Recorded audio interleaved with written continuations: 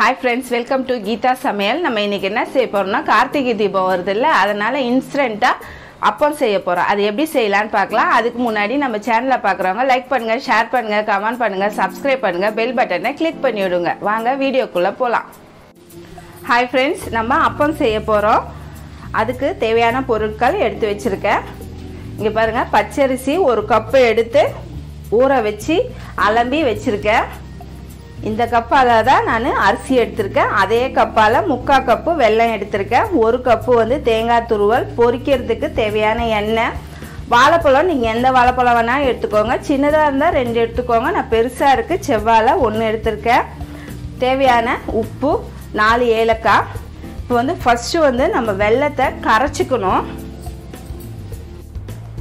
இப்போ வெல்லம் கரைக்கிறதுக்கு ஒரு பாத்திரம் வச்சுருக்கேன். வெள்ளத்தை சேர்த்துக்கலாம். அரிசி ஒரு கப்பு எடுத்தீங்கன்னா முக்கால் கப்பு வெல்லம் எடுத்துக்கோங்க. அப்போ தான் ஸ்வீட் உங்களுக்கு கரெக்டாக இருக்கும். வெல்லம் கரையிறதுக்கு மட்டும் தண்ணி ஊற்றுனா போதும். இப்போ கரைஞ்சி மட்டும் வந்தால் போதும். பாவெல்லாம் வேண்டாம் இதுக்கு. வெல்லம் கரையட்டும். பாருங்க. இப்போ வந்து நல்லா கரைஞ்சி மட்டும் வந்துருச்சு. இப்போ நம்ம ஸ்டவ்வை ஆஃப் பண்ணிடலாம் கொஞ்சம் ஆறட்டும். நம்ம தண்ணிக்கு பதில் இந்த வெள்ளத்தை தான் நம்ம வடிகட்டி அரைக்க போகிறோம் ஏன்னா கல் மண்ணும் இருக்கும் நம்ம வடிகட்டிக்கலாம். ஏன்னா இப்படி பண்ணும் போது நர நரன்னு இருந்தாவே நம்மளுக்கு கல் மண் இருக்குன்னு அர்த்தம். இப்போ இது கொஞ்சம் ஆறட்டும். இப்போ நான் அரிசியை வடிகட்டி வச்சுருக்கேன். தண்ணி இல்லாமல் சேர்த்துக்கலாம்.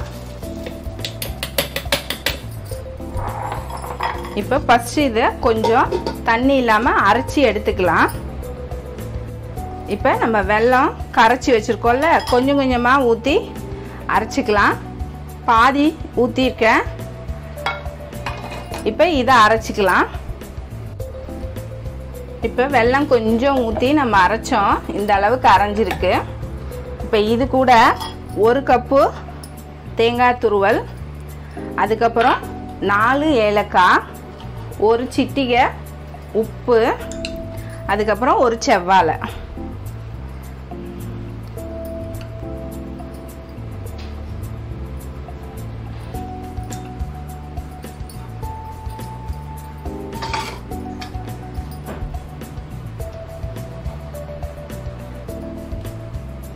கொஞ்சம் பழமாக சேர்த்துக்கோங்க. டேஸ்ட் நல்லாயிருக்கும் அப்போ தான் அதுக்கப்புறம் மிச்சம் இருக்கிற வெள்ளத்தையும் வடிகட்டி விட்டுலாம்.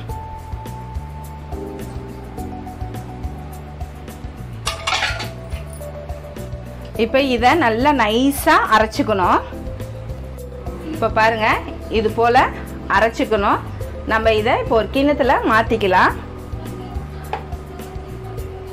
இந்த அளவுக்கு இருந்தால் தான் நம்ம எண்ணெய் சட்டியில் ஊற்றும் போது கரெக்டாக உக்காரும். அப்போ இப்போ வந்து இந்த கிணத்துல ஊற்றி வச்சுக்கலாம்.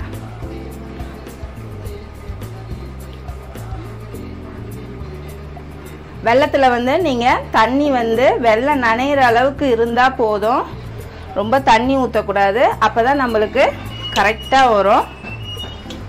பனானா வேறு போட்டிருக்கோம்ல நல்ல வாசனையாக டேஸ்ட்டு உங்களுக்கு சூப்பராக இருக்கும். தேங்காய் துருவல் போடுறனால இதில் நீங்கள் வேணும்னா கொஞ்சம் சுக்கு பொடி வேணும்னா போட்டுக்கோங்க. டேஸ்ட்டு சூப்பராக இருக்கும். இப்போ வந்து வானொலியில் எண்ணெயை ஊற்றி வச்சுக்கலாம். இப்போ வானொலி வச்சுருக்க எண்ணெயை ஊற்றிக்கலாம் கொஞ்சமாக ஊற்றிக்கலாம் ஏன்னா ஒன்று ஒன்றா தான் நம்ம சுட்டு எடுக்க போகிறோம் இது போதும். இப்போ இது ஹீட் ஆகட்டும். எண்ணெய் வந்து ஒரு எயிட்டி பர்சன்ட்டு தான் காயணும். மாவை நல்லா இப்படி மிக்ஸ் பண்ணி கொடுத்துட்டு மீடியமான கரண்டியாக எடுத்துக்கணும். மாவு வந்து இப்படி எடுத்து ஊற்றும் போது கண்டினியூவாக வரணும். இப்போ வந்து நம்ம இதில் ஒரு கரண்டி ஊற்றிக்கலாம் நடுவில். இந்தமாரி தான் நம்ம ஊற்றும் போது இந்த பபுள்ஸ் மட்டும்தான் வரணும். அப்போ தான் நம்மளுக்கு கரெக்டாக இருக்கும். நல்லாவும் வரும். இப்போ அது கீழே கொஞ்சம் வெந்து வரும்போது லைட்டாக மேலே எலும்பி வரும். அந்த மாரி இருக்கும் போது நம்ம எண்ணெயை கொஞ்சம் கொஞ்சமாக மேலே ஸ்ப்ரெட் பண்ணி விடணும். இந்த மாரி ஸ்ப்ரெட் பண்ணி விடும் போது கொஞ்சம் உப்பலாக வரும் நம்மளுக்கு. ரொம்ப ஈஸியாக செய்யலாம். டேஸ்ட்டும் உங்களுக்கு சூப்பராக இருக்கும். இது வந்து ரவையில் கூட செய்வாங்க. இதே மெத்தடு ஆனால் ரவையில் செய்வாங்க. அது வந்து டேஸ்ட்டு சூப்பராகவும் இருக்கும். இது கொஞ் ஊற வச்சு தான் செய்வாங்க. இப்போ இது வந்து நம்ம உடனே அரைச்சி உடனே செய்கிறோம்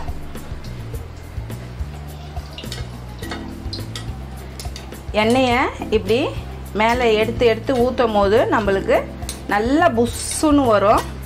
இதுக்கு சோடா மாவுலாம் போடுவாங்க. நான் இதில் போடலை. அப்பயே பாருங்கள் எவ்வளோ சூப்பராக வருது உங்களுக்கு. இப்போ மெதுவாக பாருங்கள் ஏன்னா இது ரொம்ப சாஃப்டாக இருக்கும். மெதுவாக திருப்பி விட்டுக்கோங்க. எவ்வளோ சூப்பராக வந்திருக்கு பாருங்கள்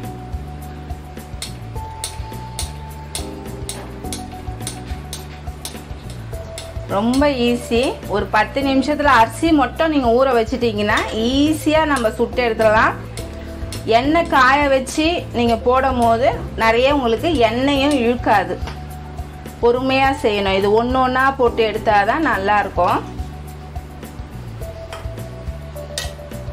கொஞ்சம் கூட பிரியல பாருங்க. நல்லா வந்திருக்கு.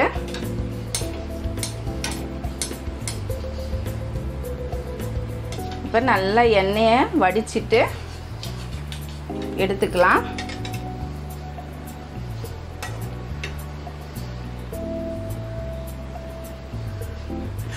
இப்பயே எவ்வளோ சாஃப்டாக இருக்குது பாருங்கள் இன்னும் ஆற ஆற நம்மளுக்கு சாஃப்ட்டு கொடுக்கும். நான் வந்து ஒரு டிஷ்யூ பேப்பரில் எடுத்து வச்சுருக்கேன். இப்போ வந்து நம்ம இன்னொன்று ஊற்றிக்கலாம் மீடியமான கரண்டியே எடுத்துக்கோங்க. ஏன்னா இது வந்து ரொம்ப பெருசாக உப்பி வருது. நம்ம மீடியமாக போட்டாவே உங்களுக்கு கரெக்டாக வரும். அதேமாரி எண்ணெய் எயிட்டி பர்சன்ட் சூடானவுடனே கரெக்டாக மீடியமாக வச்சுக்கோங்க. ஸ்பீடாக வச்சு கம்மி பண்ணி அந்தமாரி வைக்காதீங்க. உங்களுக்கு சரியாக வராது. ஒரே ஹீட்டில் இருந்தால் தான் உங்களுக்கு அந்தமாரி வரும். அதேமாரி எண்ணெயை இந்தமாரி மேலே எடுத்து எடுத்து ஸ்ப்ரெட் பண்ணி விடுங்க. அப்போ தான் நம்மளுக்கு நல்லா உப்பி வரும். மேலேயும் வெந்தும் வரும். ஏன்னா நம்ம எண்ணெய் கொஞ்சமாக தான் ஊற்றிருக்கோம் இது ஒன்று ஒன்றா சுட்டு எடுத்தால் தான் கரெக்டாக வரும். அவசரப்பட்டு ஒன்று ரெண்டு அப்படியெல்லாம் சுட்டு எடுத்தால் நம்மளுக்கு டிஸ்டர்பன்ஸாக இருக்கும். ஈஸியாகவும் வராது.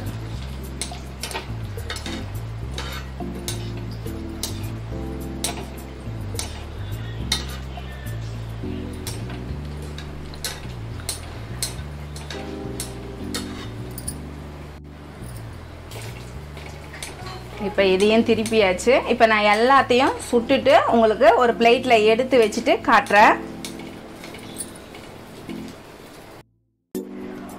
உடனடியாக அப்பத்துக்கு மாவு ரெடி பண்ணி அப்பம் சுட்டோம். சூப்பராக வந்திருக்கு.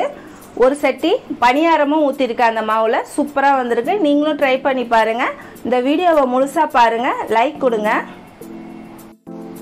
கீதா சமையலை பார்க்குறவங்க நம்ம அப்பா எப்படி செஞ்சோன்னு பார்த்தோம். சூப்பராக வந்திருக்கு. நீங்களும் செஞ்சு பாருங்கள் அதுக்கு முன்னாடி நம்ம சேனலில் பார்க்குறவங்க லைக் பண்ணுங்கள் ஷேர் பண்ணுங்கள் கமெண்ட் பண்ணுங்கள் சப்ஸ்கிரைப் பண்ணுங்கள் பெல் பட்டனை கிளிக் பண்ணி விடுங்க அடுத்த வீடியோவில் பார்க்கலாம்.